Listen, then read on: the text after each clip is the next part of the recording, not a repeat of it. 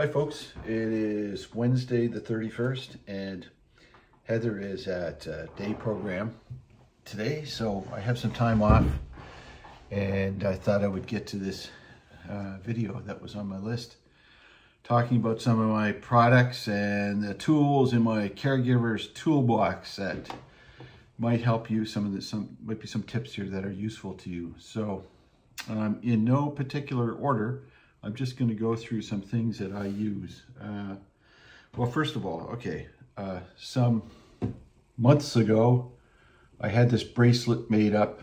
I think it was on Etsy. And it's a, like a silicone bracelet and it has a metal label here that says Heather's name, my name and phone number, and our address. And it says Alzheimer's. So I thought this would be handy you know, it never really got used. She didn't really want to wear it.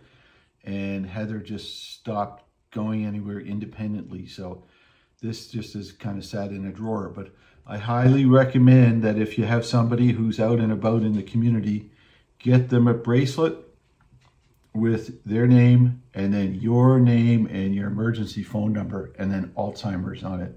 This is so important.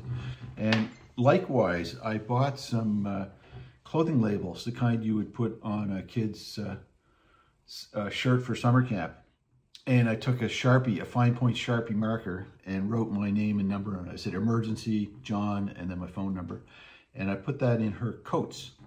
So that's fine for fall, spring, and winter, uh, but not so great for summer. However, again, Heather doesn't wander.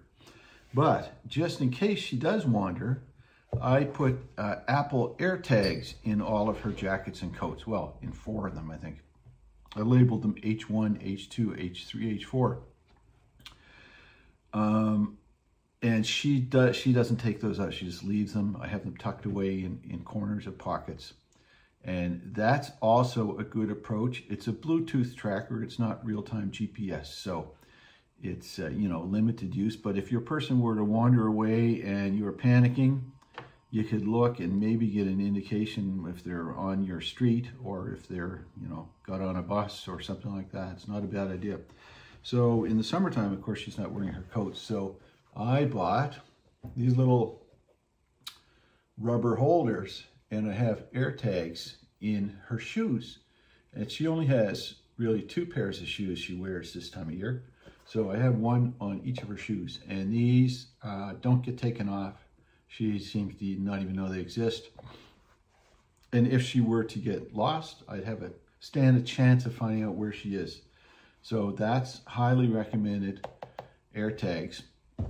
The other thing is if your person uh, uses a phone, carries a phone, I can't emphasize enough how great it is to have this app called Life 360. So it's Life 360, the number 360, installed on their phone and it is a real-time GPS tracker.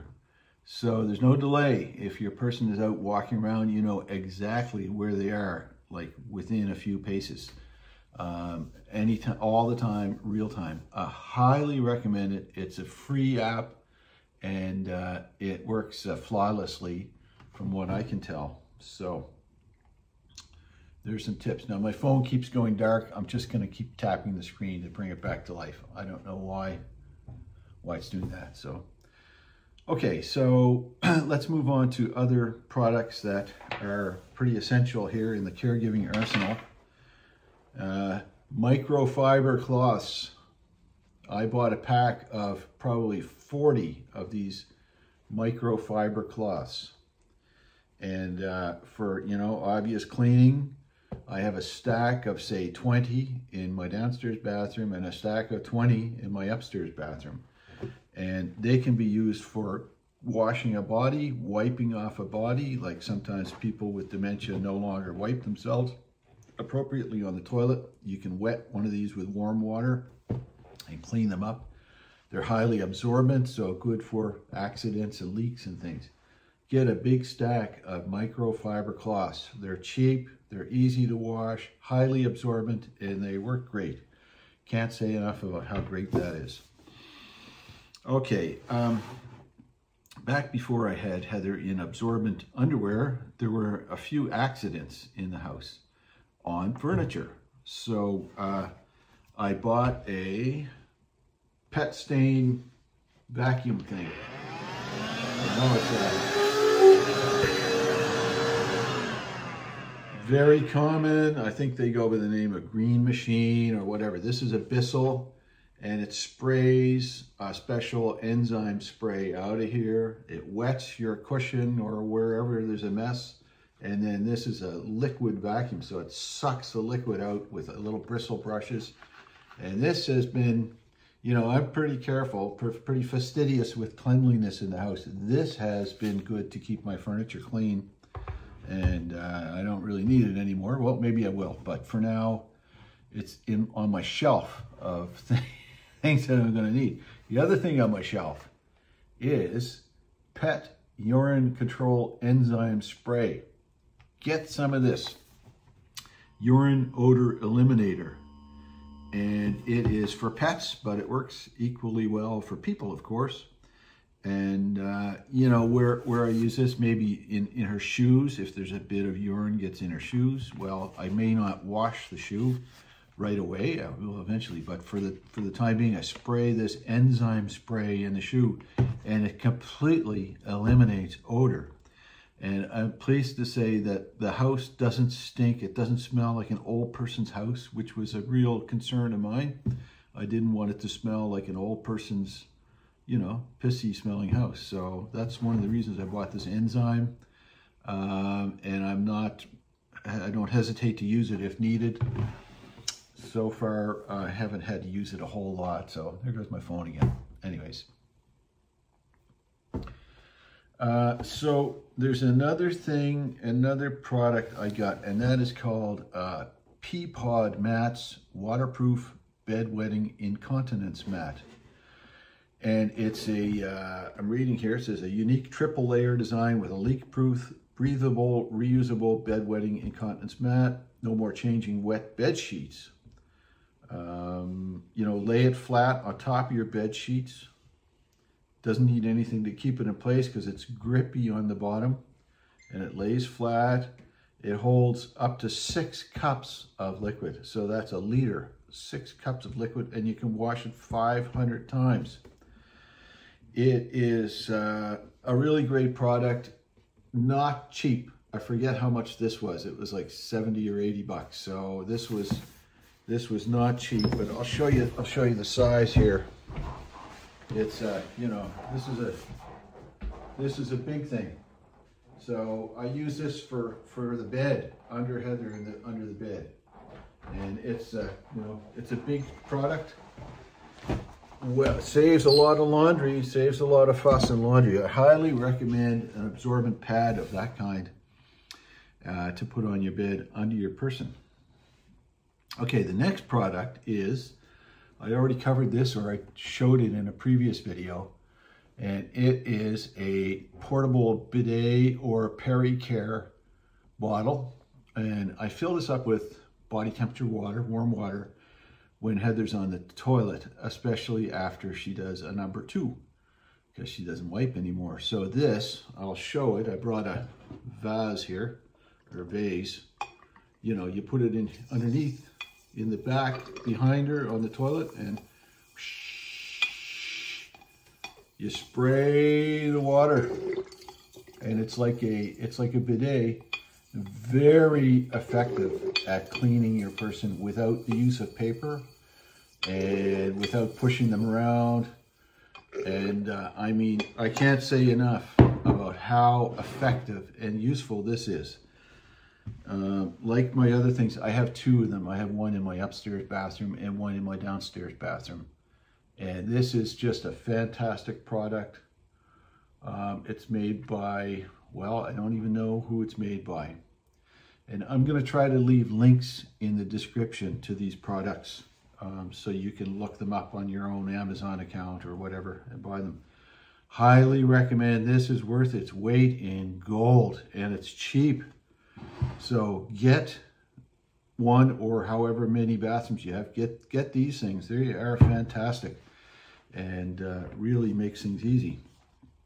So I talked on another video about the tech I use to help uh, monitor the house, I guess.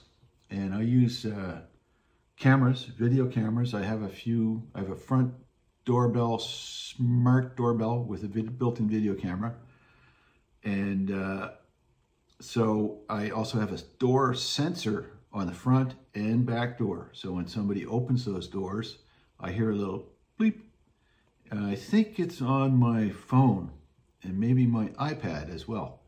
And it buzzes my, my watch too. I've got an Apple Watch, so it buzzes my watch. So very unobtrusive, a little warning that the doors have opened. And that is really puts my mind at ease that she's not going to go out the door and go wandering. Or on the rare occasion that she has opened the door, I'll just accompany her. And a couple times she's just gone for a walk up and down the street.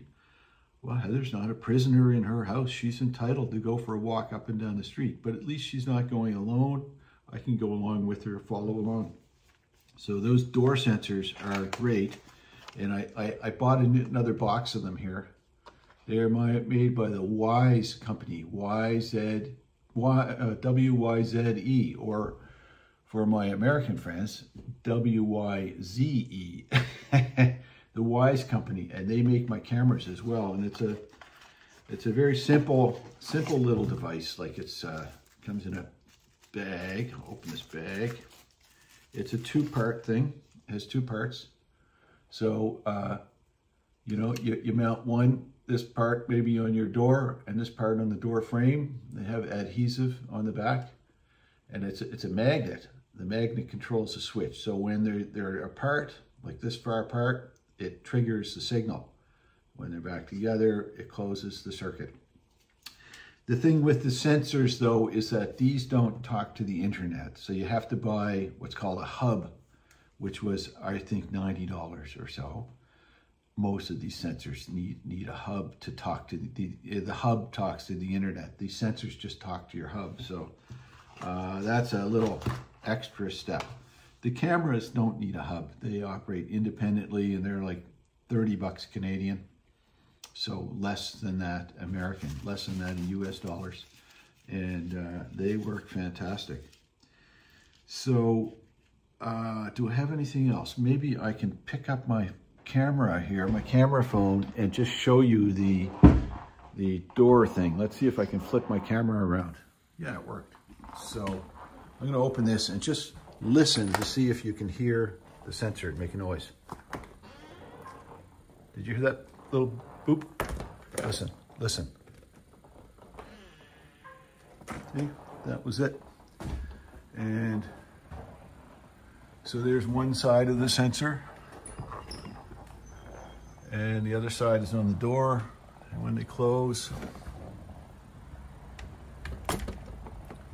so it's as simple as that.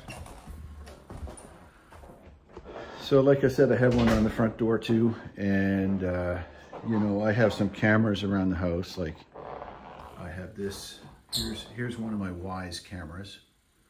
And that uh, monitors, looks around my kitchen and my living room. And it just puts my mind at ease.